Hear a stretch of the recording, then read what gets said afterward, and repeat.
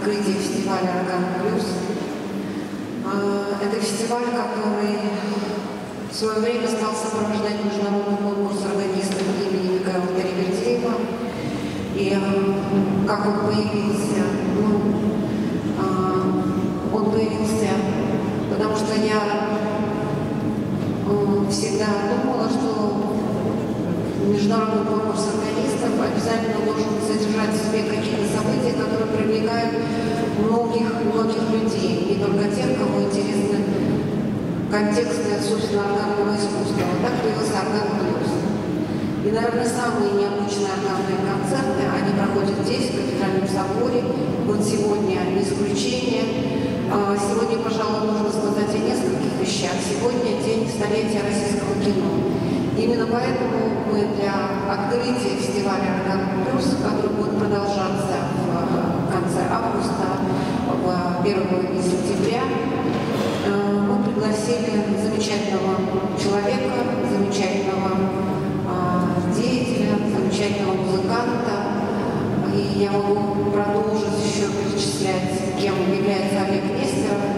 А, ну и человек-создатель группы «Метаполис». И сегодня Олег Нестеров и группа «Метаполис» впервые представят свой а, знаменитый проект «Из жизни планет» в сочетании с органом. И я очень рада, что в этом проекте участвует лауреат первого международного конкурса органистов имени Михаила Перевертеева Екатерина Мельникова. Но вот знаете, в любом концертном зале самые топовые точки сезона – это, наверное, зима, осень, весна. А в соборе топовыми точками в жизни и наиболее активные периоды жизни – это лето, это конец лета. И вот сегодня на этой сцене еще присутствует, это сегодня последний вечер, картина а, Константина Коровина. Вот сегодня мы а, можем еще увидеть эту картину, завтра она отправится домой, в Третьяковскую галерею, откуда ее привезли, она сопровождала Вот. Ну вот сегодня мы в таком, видите, в таком контрапункте с еще одним фестивалем, который слышен. Но поразительная вещь, когда здесь репетировали музыканты, ты перестаешь слышать все, ты слышишь только их и погружаешься в совершенно удивительную атмосферу того, что они делают. Ну, вот такое мое вступительное слово. Я очень рада, что вы сегодня с нами, что вы увидите, услышите этот совершенно необычный проект фестиваля «Программа Плюс». Спасибо.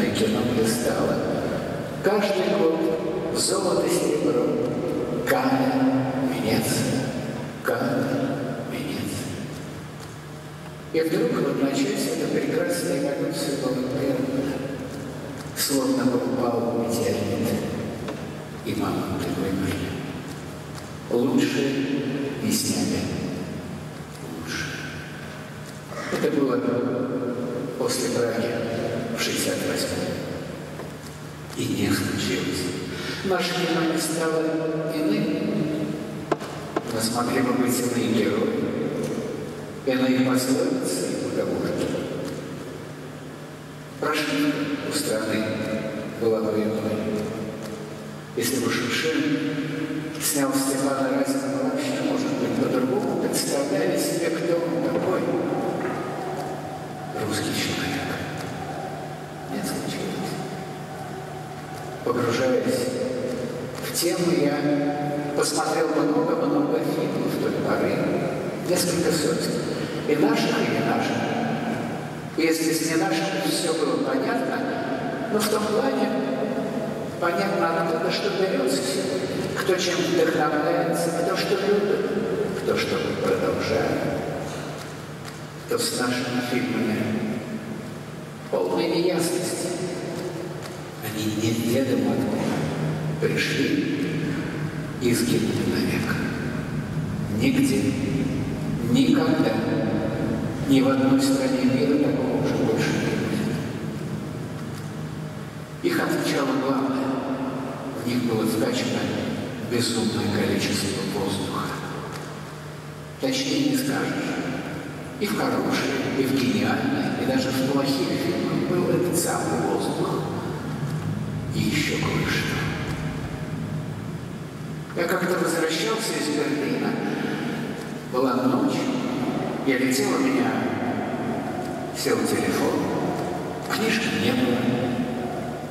И я попросил стюардесса немецкую газету, что никогда не делал до этого. И на второй странице наткнулся на интервью со столетним человеком. Его звали Курт Мэнцинг. Этот Курт Мэнцинг был когда-то директором единственной в ГДР киностудии Дефа. А еще он умудрился прожить при всех режимах 20 века. Этот Мэнсон жил при кайзере Бельгии, при Веймарской республике, при Гитлере, ГДР и в современной Германии. И журналист его спрашивает, молодой, послушайте, господин Мэнсон, вообще вот ГДР, ну, было же, что там, что-либо настоящее, или это было государственный театр? Мальцев улыбнулся. Да. Человеческая солидарность. Журналист даже как-то сразу и не понял. А что такое для современного человека человеческая солидарность? Да звук пустой. Когда я смотрел западные фильмы тех лет, в любом, даже в самом добром, было немножко про то, что человек человеку волк, про конкуренцию, а в нашем воздух и человеческая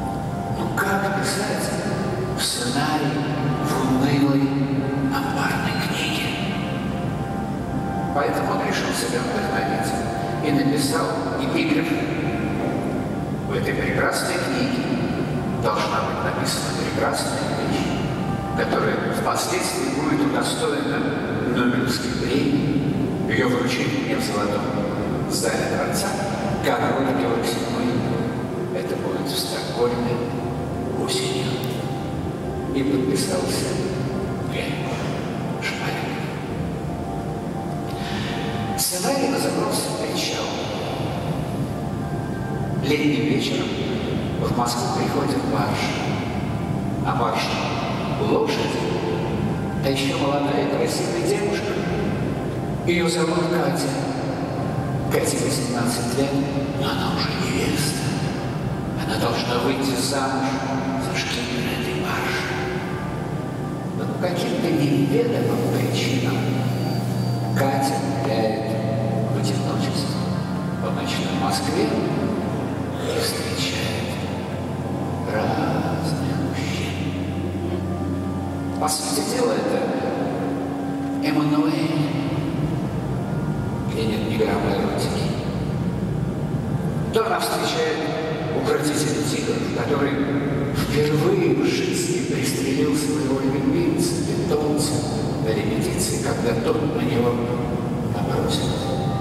И он сидит на москванике и разбирает пистолет на запчасти. И меланхолично бросает в воду. То Катя встречает пожилого красивого летчика-испытателя, кабриолет, Волга, рядом алюминиевые костыли, позади большая мохнатая собака. И они едут все вместе на свидание в полночь по Садовому должны провести ее. Большую серебристую птицу, на котором когда-то летал. Катя встречает восемь. Катя встречает похитителей виолончели, которые карабкаются под восточным другу. И Катя встречает восемь солдат-теперей, в троллейбусе они в Москве проезд, и они провожают ее через весь город, наигрывая французские мелодии на аккордеоне. Шманик. В этом фильме должны были встретиться две невесты. Невеста Катя и невеста Москва. Москва невесты давно уже не. С 1147 года. В жизни она была серая и скучная, а в кино подпезная. Я был такой в Москве. Ее придумал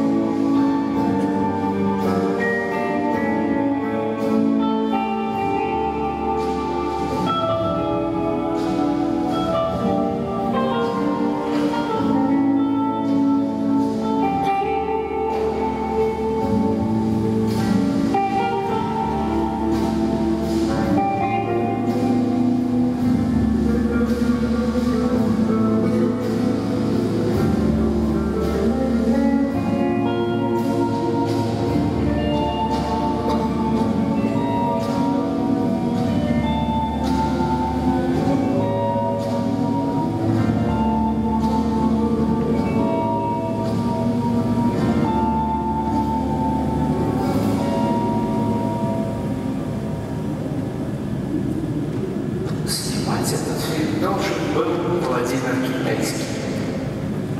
Тоже на тот момент студент ГИКа. Считался по ГИКе фигурой номер один. Учился в мастерской Михаила Рова. Вместе с ним учился Тарковский Шушин. Тем не менее, именно китайский ждали новых откровений. Он напитывал весь ГИК и всю московскую молодую новую волну новыми идеями. Китайский был совсем молодой, ему было 17 лет, когда Ром взял его к себе на курс. Детдомовец, узкоглазый, поэтому может быть китайский. Отец якут, мать цыганка.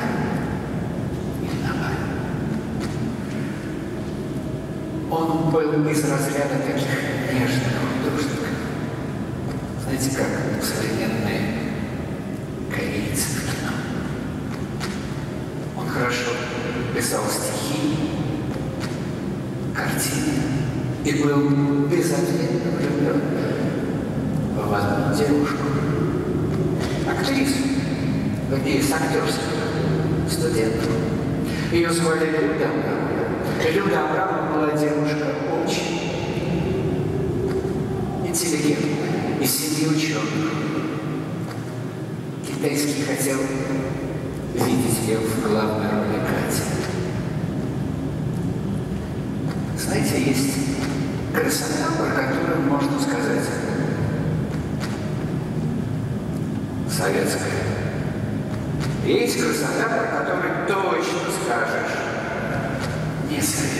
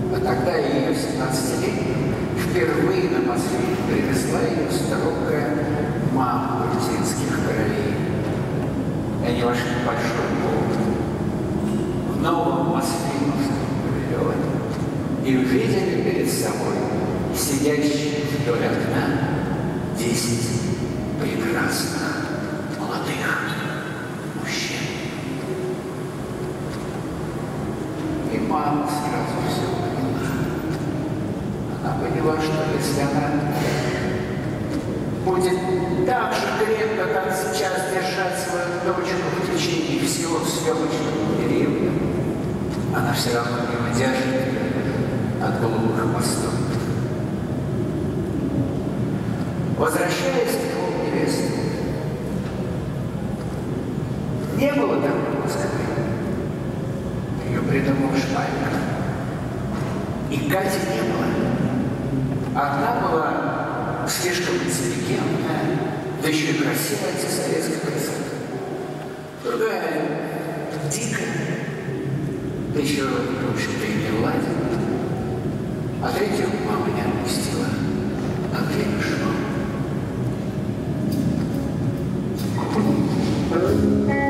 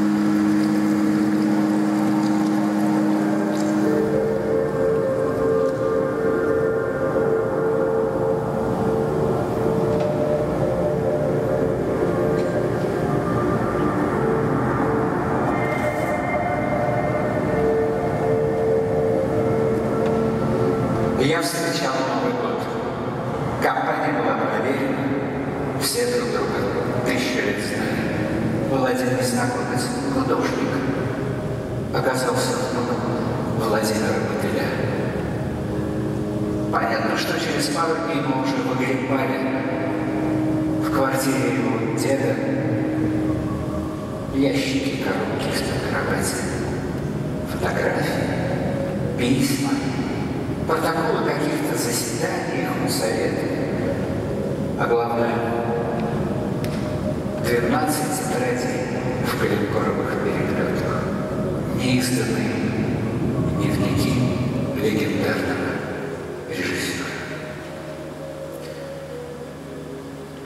Почти сразу я наткнулся на любопытную запись. Моя фантастическая кинобиография. Из 15 лет, 8 лет и 6 месяцев у меня ушло на три постановки. 6 лет и 6 месяцев на 21 неосуществленную затею. На каждый поставленный у меня 121 не поставленный. Музыка сама нашла себе один из этих непоставленных. Это был Истер. Не Вестер, а Истер. И там еще были не басмачи и Маузер. То, что будет у него спустя лет пять или шесть в белом солнце пустыни. Там было море. Мурманск. Две недели до начала войны. Корабль везет к отдаленному острову группу заключенных. Половина уголовных, половина политических. Начинается война, налет вражеской авиации. Охрана гибнет. И заключенные предоставлены сами себе. И у них дилемма. Можно плыть в Норвегию, здесь рядом, среди них даже есть зэк-капитан. А можно представить ближайший остров, взять оружие, которого навалом на корабле, и встать в окоп рядом с нашими солдатами. Что они и сделали, и так и воевали до конца войны.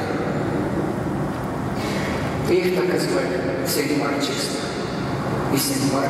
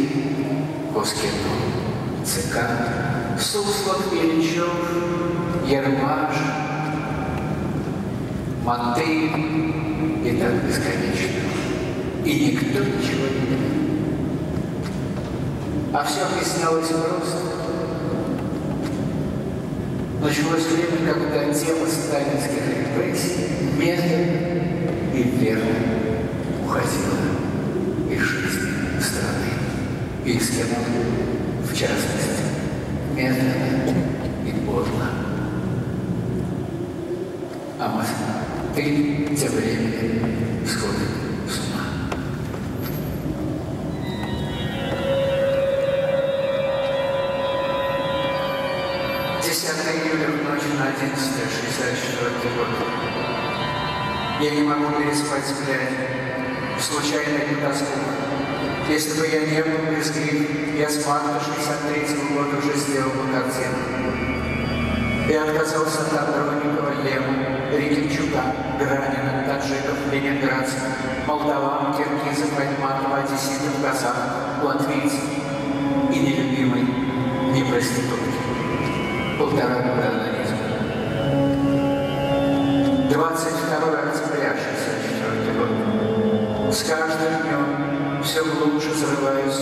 собственное говно. Все глубже и глубже.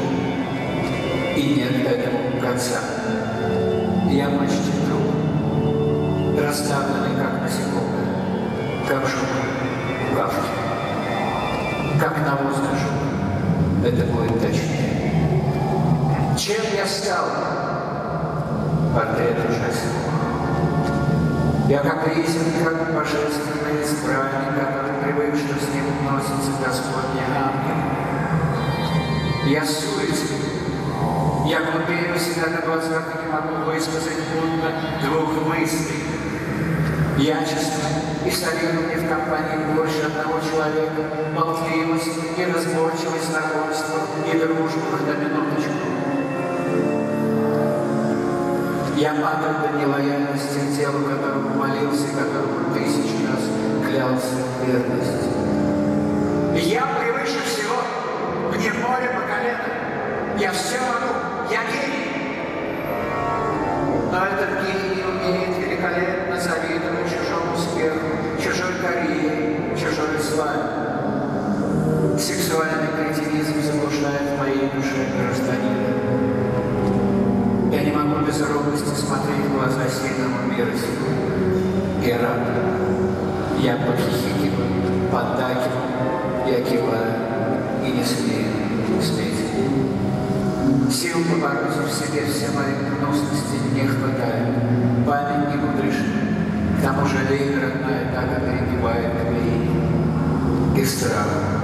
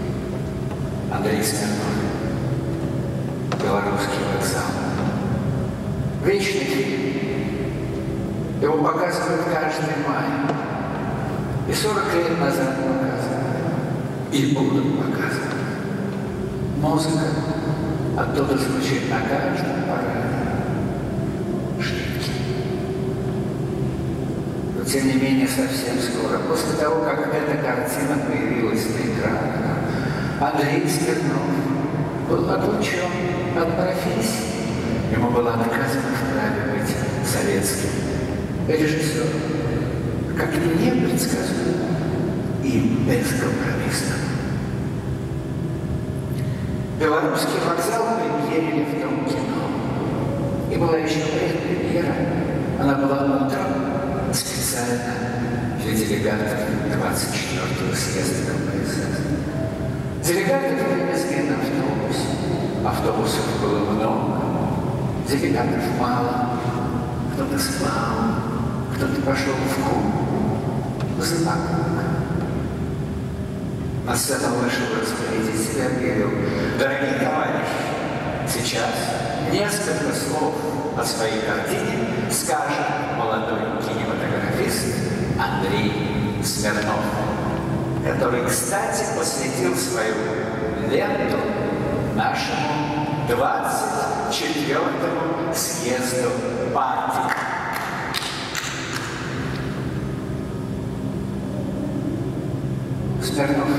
сцену, посмотрел в зал. И говорит, а я свой фильм вашему съезду не посвящу. И ушел. Его догнали там же, за кулисами, и сказали, что ж ты, Андрюша, что ж ты делаешь? Мы тебе поможем сменить профессию. И помогли. Тридцать лет ничего не снимал. В минуты совсем уже смертельного отчаяния он вдруг подумал, что нужно писать сценарий, чтобы как-то жить. Предчувствие это было во втором сценарии. Он вдруг вспомнил свое послевоенное детство. Ему 13 лет. 53 год. Хмурая школа. Уголовный двор на Сретенке. И беспросветное одиночество малыша во враждебном мире больших предчувствия. Предчувствия свободы. Предчувствие любви. Предчувствие жизни. Предчувствие всей жестокости, всей сладости мира.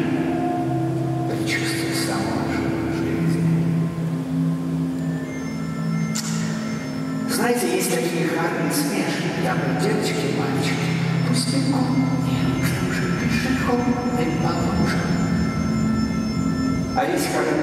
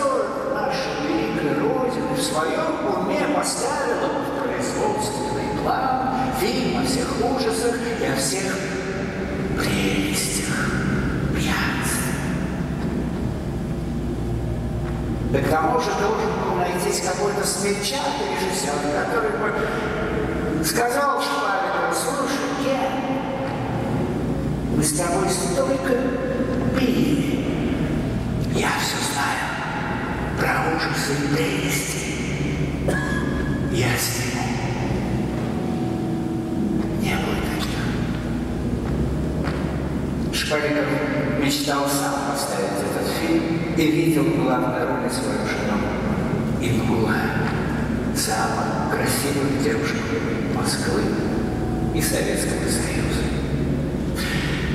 Жизнь у них не очень клеилась. И надумала, ну вот, Гена будет приходить домой после работы в шесть, я буду готовить ему ужин, если надо, парить ноги. А Геннадий Федорович как-то по-другому себе представлял, что сделать сделать. Не лазилось у них. Да и с кем уж Павелова могло поладиться. Как-то они сидели с Соловьевым на в его квартире, квартире Шпаликова в Черемушках. Инка уже тогда дружков не пускала на порог, поэтому они открыли дверь пилкой для ногтей. Расположились на кухне.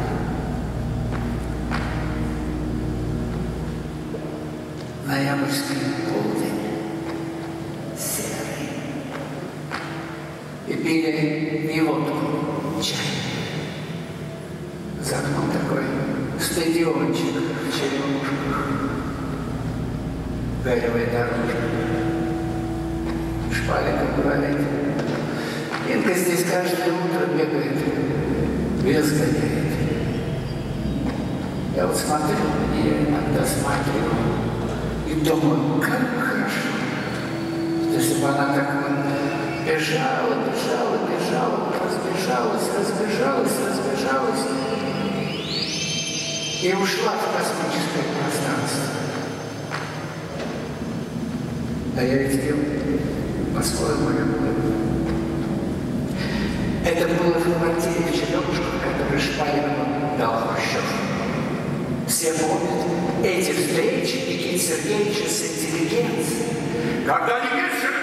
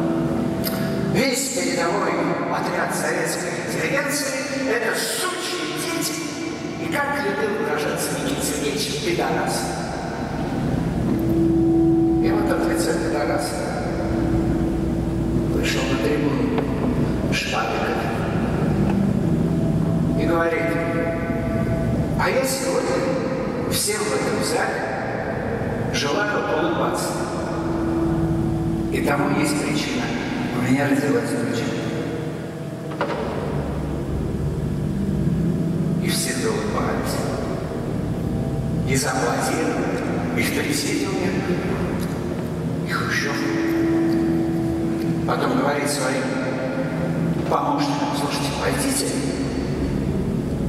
Дочь родилась сегодня. Может, что надо? А Шпаликов говорит, как чего надо? Мне жить негде. И ему дали эту квартиру в черемушку. Но когда он писал про Искокова, он же в этой квартире не жил. Он скитался по друзьям, которых у него оставалось все меньше.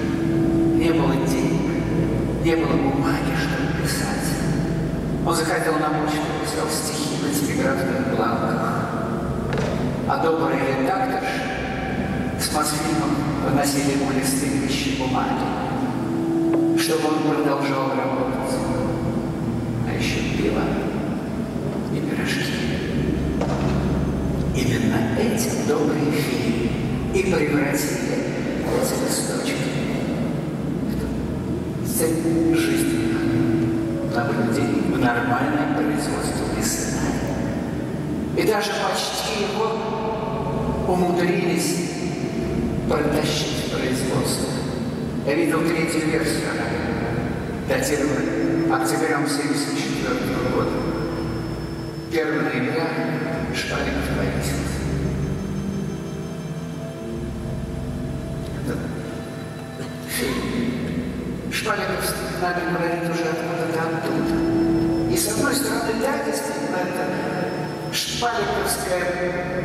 Психоделическая алкогольная цыганочка фильма «Ужас о прелестях пьянства». С другой стороны, там 11-летняя героиня, которую Шпаликов списывает со своей любимой дочерью Дашей, которая родилась в тот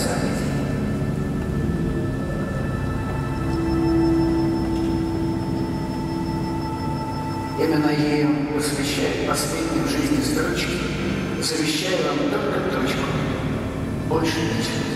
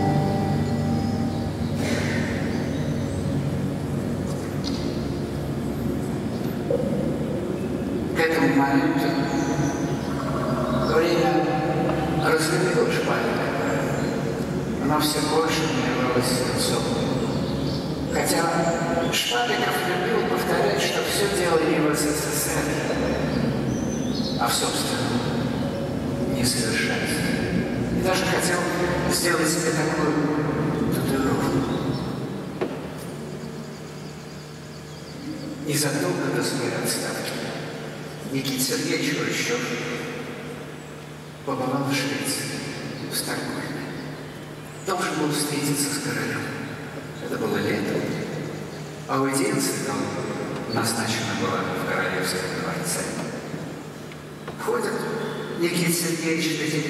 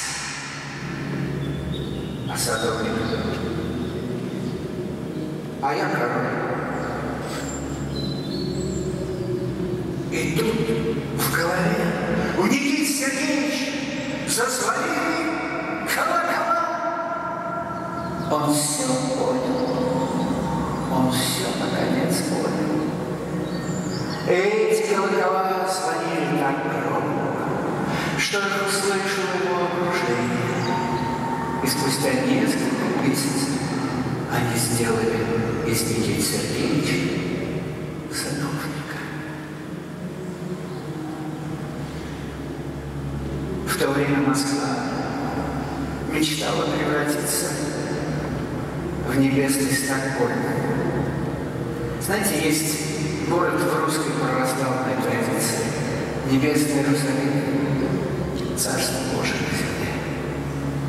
Небесный Стокгольм, город попроще, но тоже красивый. Столица государства с идеальным общественным строем.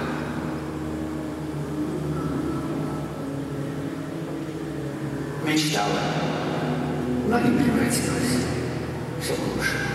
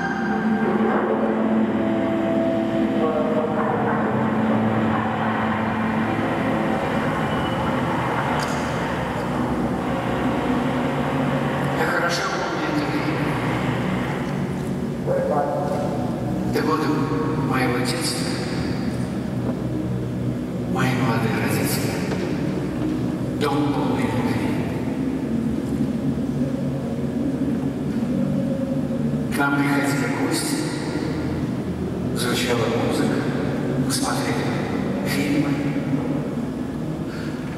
Мне иногда нужно спросить у родителей о чем-то очень важном. Но я не могу это сделать. Их давно нет живых. Но понять я их могу, посмотрев те фильмы, которые они смотрели. Или могли бы смотреть. Что лучше расскажет о эпохе? Замыслы воплощенные или не воплощенные? Кто больше расскажет о кораблекрушении? Тот, кто выжил. Что расскажет тот, кто выжил? Было страшно, я побежал по палубе, мне дали место Одели жилет, свисток. Через два часа спас вертолет.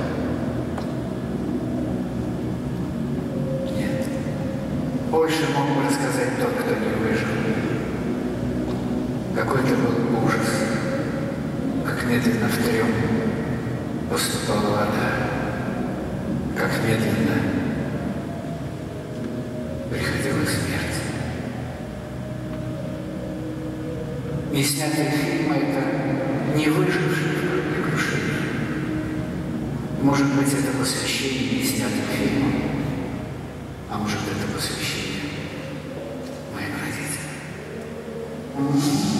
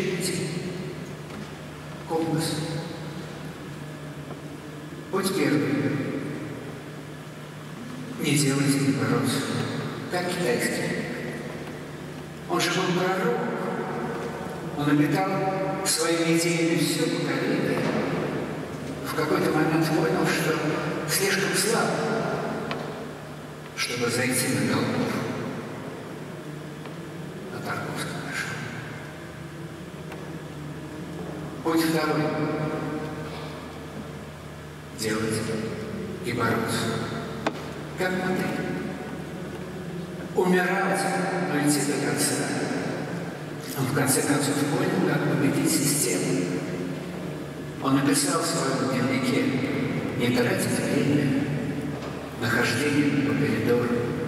Нужно брать нормальный, пригодный сценарий и делать свой фильм». И он взял абсолютнейший, бесперспективный сценарий Каре, который никому даром был не нужен, и снял свой шедевр «Белое солнце пустыни». И говорил, что госзаказы не для того, чтобы отчураться. И про Корфюшта были госзаказы, и при фараонах, и сколько было красоты сделано. Путь третий – бороться, не делать. Никаких компромиссов. Ни одной склейки, ни одного кадра, как Смирнов. Он первый подал в суд на СССР. Он подал в суд на СССР в лице Тоскино и выиграл. Ну, за это на 30 лет. Путь четвертый. Делать на не бороться, как шпагер. По семь, по восемь раз переписывать сценарий, опять приходить, опять уходить, переписывать, опять. Он кричал в конце жизни в коридоре Москвы, не хочу быть рабом.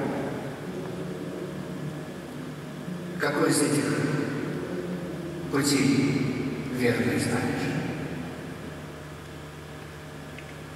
Каждый. Если по стрелке идешь. А стрелка знаешь, что такое? Совесть, когда себе не врешь. Возвращаясь к китайскому. За два года до этих печальных событий они были на практике с таким молодым режиссером, студентом с Гордона. И с этим. И как-то по вечерам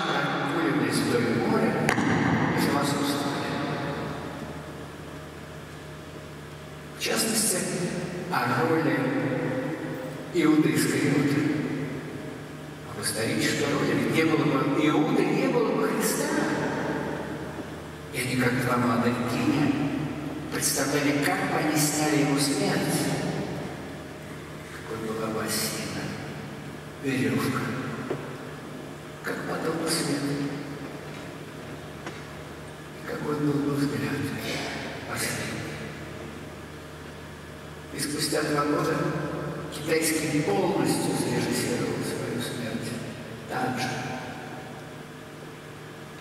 И осина, и веревка, и взгляд последний, и все так же белый сыр.